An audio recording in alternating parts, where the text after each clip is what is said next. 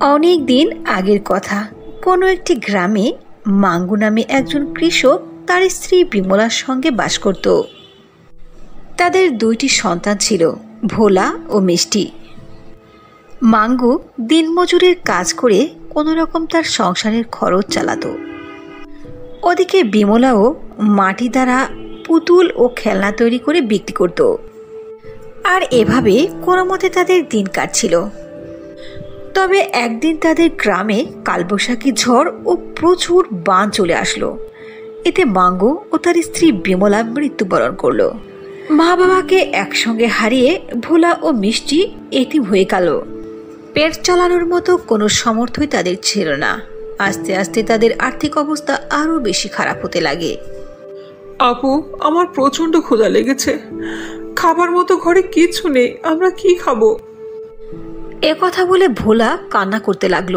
তখন মিষ্টি তাকে বলল ভোলা ভাই আমার তুই কান্না করিস না আমি তো আছি তোর পাশে। যে করেই হোক আমি তোর জন্য খাবার নিয়ে আসছি। এ কথা বলে মিষ্টি খাবারের সন্ধানে বাহিরে গেল। এরপর সে পার্শ্ববর্তী এলাকার কাকির কাছ থেকে কিছু খাবার নিয়ে এসে তার ভাইকে খেতে দিল।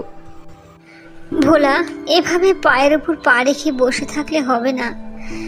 কিছু একটা তো করতে হবে। আমরাও মায়ের মতো মাটির পুতুল তৈরি করে বাজারে বিক্রি করব। তাহলে তো পয়সাও হবে আবার আমাদের সংসারের খরচও চলে যাবে। হ্যাঁ আপু তুমি একদম ঠিক বলেছ। আমিও তোমার সঙ্গে মাটির পাতিল ও পুতুল তৈরি করতে সাহায্য করব। তার পরের দিন থেকে মিষ্টি মাটির পাতিল তৈরি করতে লাগল আর তার ভাই ভোলাও তাকে হেল্প করতে লাগল। ভোলা ও মিষ্টি তাদের নিজের হাতের তৈরি করা পাতিল নিয়ে যখন বাজারে বিক্রি করতে গেল তখন কেউ তাদের পাতিল কিনল না। এভাবেই বেশ কিছুদিন কেটে গেল। তবে একদিন মিষ্টি বলল কাকু কাকু আমাদের এই পাতিলগুলো কিনে নিন না। আমরা আজ কয়েকদিন হলো না খেয়ে আছি। যদি এভাবে আপনারা কেউ না কিনেন তাহলে আমরা কি করে চলবো? এসব মাটির পাতিল পুতুল আমাদের লাগবে না। চলে যা এখান থেকে। আরে কাকা একটা পাতিল কিনুন না। এই মেয়ে তুই বুঝতে পারছিস না আমি কি বলেছি? তোর এই পাতিল আমার দরকার নেই।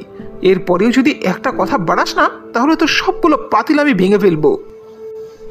প্রতিবেশী কাকার মুখে এরকম কথা শুনে সে তার ভাইকে নিয়ে সেখান থেকে চলে গেল। এরপর ভোলা তার বোন মিষ্টিকে বলল আপু কি করার? আজকেও তো কোনো পাতিল বিক্রি হলো না কোনো টাকা উপার্জন হলো না তাহলে কি আজকেও আমরা না খেয়েই থাকব? না না ভাই আমার তুমি চিন্তা করো না আজ আমি যেখান থেকেই হোক তোমার জন্য খাবার নিয়েই আসব। এ কথা বলে মিষ্টি ভোলার হাত ধরে জঙ্গলের রাস্তা দিয়ে বাড়ির দিকে রওনা দিল। যখন তারা জঙ্গলের মাঝপথে চলে আসলো তখন তারা কান্নার আওয়াজ শুনতে পেল। ভোলা ভাই আমার তুমি থামো। মনে হয় কেউ ব্যথায় কান্না করছে। আমাদের উচিত খুঁজে তাকে সাহায্য করা। চলো আমরা সামনে গিয়ে খুঁজে দেখি। এরপর দুই ভাই বোন মিলে এদিকে ওদিকে দেখতে লাগল। হঠাৎ করে তাদের চোখে পড়ল একজন বৃদ্ধা মহিলা শুয়ে খুবই জোরে জোরে কান্না করছে। আরে আরে দাদিমা কি হয়েছে আপনার? এ কথা বলে মিষ্টি সেই বৃদ্ধা মহিলার মুখের উপরে এক ছটকা পানি মারলো। এতে সেই বৃদ্ধা মহিলার হুঁশ ফিরে আসলো। এরপর মিষ্টি তাকে বলল দাদিমা কি হয়েছে আপনার? আপনি এখন সব বুঝতে পারছেন? আর আপনি এখানে কেন? এভাবে কান্না করছেন? বেটা আমি অনেক দূর থেকে এসেছি। থাকার জন্য এক ঘরের ঠিকানা খুঁজছিলাম। হঠাৎ করে মাথার মধ্যে চক্কর এসে পড়ল আর আমি বেহুশ হয়ে গেলাম। দাদিমা, যদি আপনি কিছু মনে না করেন, তাহলে আমাদের সঙ্গে আমাদের বাসায় থাকতে পারেন। কিন্তু বেটা, তোমাদের মা বাবাকে থাকতে দেবে? ওনারা কি বলবে আমাকে নিয়ে গেলে? দাদিমা, আমাদের মা বাবা নেই। আমরা এতিম। হ্যাঁ দাদিমা, আমাদের মা বাবা মারা গেছে। এই জন্য আমরা আমাদের পেট চালানোর জন্য এই মাটির খেলনা ও হাঁড়ি পাতিল তৈরি করে বিক্রি করি। বেটারা, তোমরা অনেক বুদ্ধিমান ও সাহসী। এই জন্যই এত ছোট বয়সে তোমরা এতটা পরিশ্রম করতে পারছ। হ্যাঁ দাদিমা, আমরা অনেক পরিশ্রম করি, কিন্তু আমাদের এই পরিশ্রম কারও চোখে পড়ে না। কেউ আমাদের কাছ থেকে এগুলো কিনে না। বাসারা তোমরা কোনো চিন্তা করো না। আমি তো চলে এসেছি। এবার আমি তোমাদের সকল দুঃখ, কষ্ট, পেরেশানিকে দূর করে দেব। এরপরে সেই বৃদ্ধা মহিলা তাদের সঙ্গে তাদের বাড়ি চলে গেল। সেখানে গিয়ে বলল, শোনো বাচ্চারা তোমরা এই মাটি দিয়ে একটি থাকার জন্য ঘর তৈরি করো। এরপর সেই ঘরের মধ্যে দরকারি সব জিনিস তৈরি করো। কিন্তু এসব কেন করব দাদিমা? আমি তোমাদেরকে কিছু দিতে চাই, তবে তার জন্য তোমাকে আগে ঘর তৈরি করতে হবে মাটি দিয়ে। ঠিক আছে দাদিমা, আমরা তাই করব। এরপর ভোলা ও মিষ্টি দুইজন মিলে একটি মাটি দিয়ে ঘর তৈরি করল। আর ওই ঘরের মধ্যে প্রয়োজনীয় সকল জিনিস তৈরি করল। যখনই ওই ঘর তৈরি হয়ে গেল, তখনই সেই বৃদ্ধা মহিলা একটি জাদুকরণীতে পরিণত হলো। শোনো বাছারা, আমি কোনো বৃদ্ধা মহিলা নয়, আমি হলাম একজন জাদুকরণী। আর আমি তো তোমাদেরকে পরীক্ষা নিচ্ছিলাম, তোমরা পরীক্ষায় পাশ করেছ। এই জন্য আমি তোমাদেরকে কিছু দিতে চাই। কথা বলে জাদুকরণী তার জাদুর শক্তি দ্বারা সে মাটির ঘরকে অনেক বড় একটি আলিশান ঘরে প্রকট করে দিল। এসব থেকে মিষ্টি ও ভোলা প্রচণ্ড খুশি হয়ে গেল আর বলল আরে ওয়াও সত্যি তুই মাটির ঘর আলিশান ঘরে পরিণত হয়ে গেল। হ্যাঁ আপু তাই তো দেখছি। আর এটা সে কত বড় ঘর। হ্যাঁ বাসারা এটা কোনো সাধারণ ঘর নয় এটা হলো জাদুর ঘর। আর এই ঘর আজ থেকে তোমাদের। আর এই ঘরের মধ্যে তোমাদের প্রয়োজনীয় সকল জিনিস উপস্থিত আছে। আজ থেকে তোমাদের আর কোনো জিনিসেরই কমতি হবে না। এখন থেকে তোমরা দুই ভাই বোন এই আলিশান ঘরের মধ্যে তোমাদের বাকিটা জীবন কাটাতে পারবে। আপনাকে অনেক অনেক ধন্যবাদ, জাদুকরণী। এরপরে সেই সময় জাদুকরণের সেখান থেকে অদৃশ্য হয়ে গেল। এরপর মিষ্টি ও ভোলা সেই ঘরের মধ্যে গিয়ে খুবই খুশি হলো, কারণ সেই ঘরের মধ্যে খাবার দাবার ও তাদের প্রয়োজনীয় সকল জিনিস উপস্থিত ছিল। তারপর থেকে জীবনে কখনো আর তাদের সামনে দুঃখ কষ্ট পেরেশানি আসেনি এবং কোনো জিনিসের কমতিও হয়নি। এভাবেই এতিম দুই বাচ্চা তাদের ভালো ব্যবহারের কারণে জাদুকরণের কাছ থেকে অনেক বড় প্রতিদান পেল।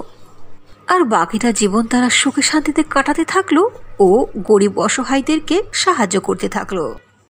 অনেক দিন আগের কথা, বিজয়পুর নামক কোনো একটি গ্রামে রাহুল তার দুই ছেলে মেয়ের সঙ্গে বসবাস করত। রাহুলের ছেলে এবং মেয়ে প্রিয়া এবং বিশেষ দুইজনে ছিল খুব বুদ্ধিমান।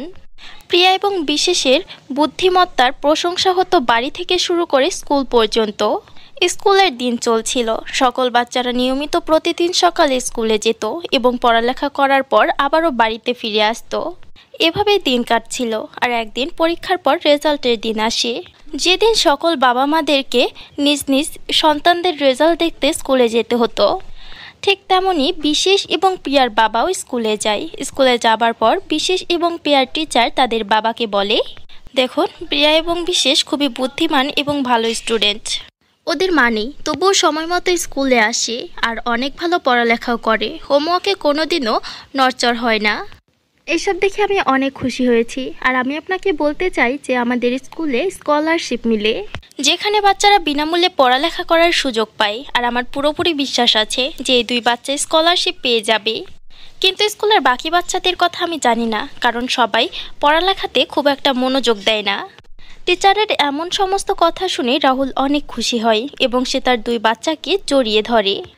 এরপর তারা বাড়ির দিকে রওনা দেয়। বাড়িতে ফেরার সময় রাস্তার মধ্যে দুই বাচ্চা পেস্টি খাওয়ার জিদ করে।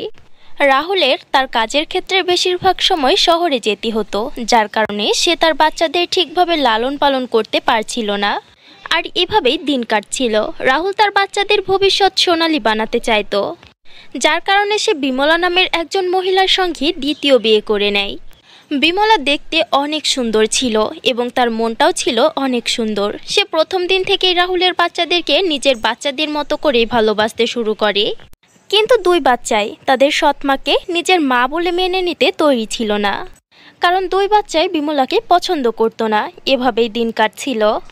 একদিন খুব সকাল সকাল বিমলা নাস্তা বানিয়ে নিয়ে আসে এবং সে তার দুই বাচ্চাকে বলে এই নাও বাচ্চারা, আমি তোমাদের জন্য আজকে অনেক সুস্বাদু নাস্তা বানিয়েছি। এটা খেয়ে তোমাদের মন অনেক খুশি হয়ে যাবে।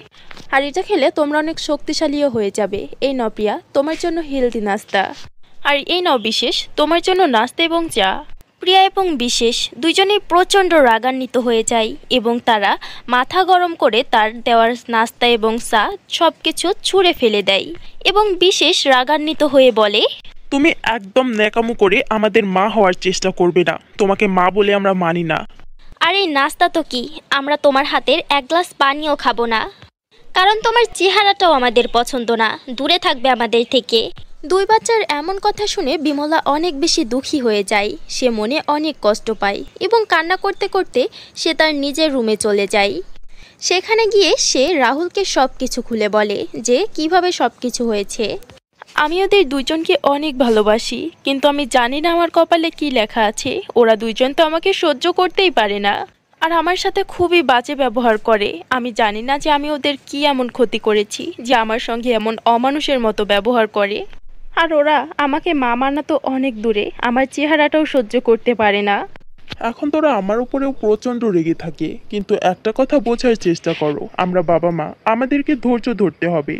ওরা একদিন নিশ্চয়ই আমাদেরকে আমাদের মতো করে বুঝবে। আর তুমি ওদেরকে ভালোবেসে আপন করে নিতে পারবে। এখন প্রথম প্রথম তাই ওদের মানিয়ে নিতে একটু সমস্যা হচ্ছে। এভাবেই দিন কাটতে থাকে। অন্যদিকে বিমলা তার মনে যা আসে তাই করে। তাদেরকে আপন করার জন্য সে প্রত্যেকটা পদ্ধতি খাটায়। কিন্তু কে শুনে কার কথা? দুই বাচ্চা ছিল অনেক জিদ্দি। তারা কিছুতেই বিমলাকে তাদের নিজের মা মেনে নিতে পারছিল না। কিন্তু বিমলা হাল ছাড়ে না। সে দিন রাত পরিশ্রম করে, নানান রকম উপায় পরিকল্পনা করে তার বাচ্চাদেরকে খুশি রাখার জন্য। কিন্তু দিনরাত টানা এইভাবে পরিশ্রম করার জন্য এক সময় সে অসুস্থ হয়ে পড়ে এবং সে বিছানায় শুয়েছিল। তখন তারা দুই ভাই বোন সেখানে আসে এবং প্রিয়া বলে দেখ ভাই, দেখ, কি নাটক। আজকে তো বিছানায় শুয়ে আছে। যেন আমরা ওর আগে পিছিয়ে আজকে খাবার নিয়ে ঘোরাফেরা করি, ওর যত্ন আদ্যি করি। ও তো আমাদেরকে দিয়ে সমস্ত কাজ করিয়ে নিতে চাই। প্রথম থেকেই ও আমাদেরকে নিজের মতো করে পরিচালনা করার চেষ্টা করেছে। এর জন্যই তো আমার ওকে মা মানতে একদম ইচ্ছা করে না। একদমই ওকে মা মানতে পারি না। নিচের বাচ্চারা ক্ষুধার্ত দেখেও ওর মনে একটু মায়া নেই। এখনও কেমন পড়ে পড়ে শুয়ে আছে। আর ও একটা অত্যাচারী মহিলা। তোমরা এমন করে বলো না। এতদিন তো করেছি আমি সমস্ত কাজ। আজকে আমার শরীরটা অনেক খারাপ। আর এই জায়গায় তোমরা আমাকে এক গ্লাস পানি দেওয়ার বদলে এইভাবে অপমান করছ? তোমার মতো মেয়ে আমি আজ পর্যন্ত কোথাও দেখিনি। আরে মানা মানো, তোমার ভেতরে তো মনুষ্যত্ব থাকা প্রয়োজন। সত্যি, তোমরা দুইজন অবাধ্য সন্তান। বিয়ের আগে যখন তোমার বাবা তোমাদের প্রশংসা করত, এত বুদ্ধিমত্তার পরিচয় দিত, তখন আমারও মনে হয়েছিল তোমরা আমাকে বুঝবে তোমরা অনেক ভালো। কিন্তু আমি আসার পর তোমরা আমার সঙ্গে যেমন ব্যবহারটা করেছ এরপর আমার মনে হয় না। যে এখানে আশেপাশে তোমাদের মতো অবাধ্য সন্তান আর দুইটা আছে। আরে হ্যাঁ হ্যাঁ আমরা অবাধ্য সন্তানই। এমনটা বলে বিশেষ প্রচণ্ড রাগান্বিত হয়ে যায় এবং তার সৎ মাকে ধাক্কা দিয়ে ফেলে দেয়। যার কারণে বিমলা সিঁড়ি থেকে নিচে পড়ে যায় আর তার মাথাতে খুব বাজেভাবে আঘাত লাগে। যার কারণে সে অজ্ঞান হয়ে যায়। এটা দেখে প্রিয়া অনেক চিন্তিত হয়ে পড়ে। সে ভীষণ ভয় পেয়ে যায়। যদি আজকে আমার আপন মা বেশি থাকতো, তাহলে এই দিন দেখতে হতো না। হ্যাঁ এই সৎমা আমাদের পছন্দ না। কিন্তু বিশেষ, এই কাজটা তুমি একদম ঠিক করলে না। অনেক বড় ভুল করে ফেললে তুমি। এখন তোমার কারণে ওনার জীবনও চলে যেতে পারে। হে আল্লাহ, এটা কি হলো? আমাদেরকে বাঁচাও। প্রিয়া এমনটা বলতে না বলতেই প্রিয়ার বাড়িতে অনেক সুন্দর জাদুর লাল পরে আসে। তোমরা দুইজন এত ভয় পেয়ে আছো কেন? আর কি, তোমাদের কাছে এই মহিলাকে ওনার তো অনেক চোট লেগেছে। তোমরা কি ওনার সঙ্গে কিছু করেছ? আমার ভাইয়ের থেকে অনেক বড় একটা ভুল হয়ে গেছে। আসলে ইনি আমাদের সৎমা। আমার ভাই রেগে গিয়ে ওনাকে ধাক্কা দিয়ে দিয়েছেন, যার কারণে উনি সিঁড়ি থেকে নিচে পড়ে গিয়েছেন আর মাথাতে এত চোট পেয়েছেন। আমরা আসলে ওনাকে পছন্দ করি না, মা বলে মেনে নিতে পারি না। আমাদের মধ্যে একটা ঝামেলা হচ্ছিল। এর মধ্যেই আমার ভাই রেগে গিয়ে ওনাকে ধাক্কা দিয়ে দিয়েছেন। কিন্তু আপনি কি আর এত সুন্দরভাবে রেডি হয়ে এসেছেন কেন এখানে? আমি জাদুর লাল পরি পৃথিবীলোকে এমনিতেই ঘুরতে এসেছিলাম, কিন্তু হঠাৎ করে তোমাদের বাড়িতে হইচইয়ের শব্দ শুনতে পাই। আর সেই কারণেই কৌতূহলবশত আমি তোমাদের বাড়িতে এসেছি তোমাদের পরিস্থিতি দেখতে। কিন্তু এসব দেখে সত্যি আমি অনেক বেশি চিন্তায় পড়ে গেছি যে বর্তমান জেনারেশন এ কেমন ধরনের জেনারেশন, এরা নিজের বাবা মাকেও স্বীকার করে না। হতে পারে এটা তোমাদের সৎমা, কিন্তু এতক্ষণে যা বুঝলাম যে উনি তোমাদেরকে অনেক ভালোবাসে, তোমাদের জন্য অনেক সময় দেয়। কিন্তু তোমরাই ওনাকে বোঝনি কখনো সম্মান দাওনি সব সময় ওনার মনে কষ্ট দিয়েছ। আমার থেকে অনেক বড় ভুল হয়ে গেছে। প্লিজ যে করেই হোক ওনাকে ঠিক করে দাও আর আমরা এমনটা কখনো করব না। আমি জাদুর লাল পরি আমি চাইলেই এই মুহূর্তে ওনাকে ঠিক করে দিতে পারি কিন্তু তোমাদের নিজেদের ভুলটা বোঝা অনেক জরুরি। আর এখন সেটা হয়ে গেছে তোমরা নিজেদের ভুলটা বুঝতে পেরেছ তাই আমি ওনাকে ঠিক করে দেব। কিন্তু আমার একটা শর্ত আছে। এবার ঠিক হওয়ার পর ওনাকে অনেক সম্মান করবে, ওনার অনেক দেখাশোনা করবে এবং সবসময় ওনাকে নিজের মা মানবে। এমনটা বলার পর পরই নিজের জাদু শক্তির দ্বারা তাদের সৎমাকে আবারও আগের মতো ঠিক করে দেয়। আর দুই বাচ্চা তাদের সৎমাকে আবারও আগের মতো ঠিক দেখে অনেক বেশি খুশি হয়। এরপর তারা দুইজন মিলে তাদের সৎমা এবং পরি সবার থেকে ক্ষমা চাই তোমরা দুইজন অনেক ভালো বুদ্ধিমান বাচ্চা। কিন্তু তোমাদের দেখাশোনা লালন পালনে মায়ের ছায়া খুব একটা পড়েনি যার কারণে তোমরা অবাধ্য সন্তান হয়ে গেছো। কিন্তু এখন তোমরা আমাকে কথা দিয়েছ তাই তোমরা না চাইলেও তোমাদের সৎ মায়ের সব সময় খেয়াল রাখতে হবে। আর এই নাও আমি তোমাদেরকে জাদুর লাল লিপস্টিক দিচ্ছি। এই লিপস্টিকের সাহায্যে তোমাদের যেটা ইচ্ছা সেটা চেয়ে নিতে পারবে। আর এটা আমি তোমাদেরকে এর কারণে দিচ্ছি যেন তোমরা আর কখনো তোমাদের সৎমাকে বিরক্ত না করো। এটা শোনার পর তারা দুই বাচ্চা অনেক বেশি খুশি হয় এবং তারা জাদুর লিপস্টিকটি শুধু তাদের প্রয়োজনার্থেই ব্যবহার করত। এবং তাদের সৎমাকে সবসময় নিজের মায়ের মতো করেই রাখতো, কখনো সৎমা বলে গণ্য করতো না। আর এইভাবেই সব কিছু ঠিক হয়ে যায়। বিমলা অনেক বেশি খুশি হয়ে যায়, কারণ দুই বাচ্চাই তাদের খুব খেয়াল রাখতো। এভাবে দিন কাটছিল, প্রিয়ার গ্রামে একটা ফ্যান্সি ড্রেস প্রতিযোগিতা হতে যাচ্ছিল। যেখানে সে পার্টিসিপেট করতে ইচ্ছুক ছিল। এরপর একদিন সে তার ভাইকে বলে, কিন্তু আমি এখন ফ্যাশন শোয়ে অংশগ্রহণ করতে চাই। এখানে প্রথম হওয়ার পর আমি যে টাকাগুলো উপহার পাবো, সেগুলো আমি আমার বাবাকে দিয়ে সাহায্য করতে চাই। বাবা এতদিন আমাদের জন্য অনেক কিছু করেছে, সামান্য কিছু নয়, আমাদের জন্য একটা মা নিয়ে এসে দিয়েছে। কিন্তু আমাদের বুঝতেই দেরি হয়ে গিয়েছিল সত্যি উনি অনেক ভালো একটা মা। তোমার অবশ্যই ফ্যাশন শোতে অংশগ্রহণ করা উচিত এবং আমাদের বাড়ির নাম উজ্জ্বল করা উচিত। এরপর প্রিয়া ফ্রান্সিডাস প্রতিযোগিতায় অংশগ্রহণ করার জন্য তার মায়ের কাছে জিজ্ঞাসা করে। মা আমি কি ফ্রান্সিডাস প্রতিযোগিতায় অংশগ্রহণ করতে পারি? কারণ আমি এখানে যা টাকা পাবো তা দিয়ে আমি আমার বাবাকে সাহায্য করতে চাই। আর আমি আমার বাড়ির মুখ উজ্জ্বল করতে চাই আমার বংশের মুখ উজ্জ্বল করতে চাই। আমি কি এই ফ্যাশন শোয়ে পার্টিসিপেট করতে পারি? হ্যাঁ আমি অবশ্যই চাইব তুমি এই কম্পিটিশনে পার্টিসিপেট করো, কারণ আমি সবসময় চাই যে আমার ছেলে মেয়েরা সামনে এগিয়ে যাক। নিজের মায়ের সাপোর্ট পেয়ে সে অনেক বেশি খুশি হয় এবং জাদুর লিপস্টিকের সাহায্য নেয়। হে জাদুর লিপস্টিক আমি ফ্যান্সি ড্রেস প্রতিযোগিতায় অংশগ্রহণ করতে চাই। দয়া করে আমাকে এই প্রতিযোগিতায় অংশগ্রহণ করার জন্য সুন্দর সুন্দর ড্রেস স্যান্ডেল এবং সুন্দর সুন্দর মেকআপ কিট দিন। প্রিয়া এমনটা বলতেই জাদুর লিপস্টিকের চারিদিকে রোশনি হয় এবং সঙ্গে সঙ্গে তার সামনে তার প্রয়োজন মোতাবেক সমস্ত জিনিসগুলো চলে আসে। সকল জিনিসগুলো অনেক বেশি সুন্দর ছিল আর এত সুন্দর জিনিস প্রথমবার দেখে প্রিয়া অনেক বেশি খুশি হয়। এরপর সে জিনিসগুলো নিজের ঘরে নিয়ে যায় আর খুশিতে নাচতে শুরু করে। এরপর দেরি না করে সে সেই অনুষ্ঠানে পার্টিসিপেট করার জন্য রেডি হতে থাকে। সে অনেক পরিশ্রম করার পর সেখানে পৌঁছায়, যেখানে গ্রামের সকল বাচ্চা মেয়েরা পার্টিসিপেট করেছিল। যেখানে প্রিয়া ওর তার ট্যালেন্ট দেখায়। সকল বাচ্চারা প্রিয়ার ট্যালেন্ট দেখে এবং তার ড্রেস দেখে অনেক খুশি হয়। এবং সবাই তার ড্রেস সম্পর্কে জানতে চায় যে কোথায় থেকে সে ড্রেসটি কিনেছে, কিন্তু প্রিয়া তাদের কাউকে কিছুই বলে না। এরপর এক এক করে সবাই নিজের ট্যালেন্ট দেখায় আর এভাবেই অনুষ্ঠান শেষ হয়, যার পর সবাই মিলে উইনার ঘোষণা করে, যেখানে জানা যায় যে প্রিয়া উইনার হয়েছে। উইনার হওয়ার পর প্রিয়া অনেক খুশি হয় এবং স্টেজে বসে থাকা সকল জাজ মিলে প্রিয়াকে ট্রফি দেয় এবং এর পাশাপাশি তাকে উপহার স্বরূপ নগদ পঞ্চাশ হাজার টাকা দেয়। যার পর প্রিয়া সেই টাকাগুলো নিয়ে গিয়ে সে তার বাবাকে দিয়ে দেয় এবং সে তার মাকে ধন্যবাদ জানায়। সব কিছু দেখে তার বাবাও অনেক খুশি হয় এবং তাকে জড়িয়ে ধরে। এভাবে সব কিছু ঠিক হয়ে যায় এবং তারা হাসি খুশিতে বসবাস করতে শুরু করে।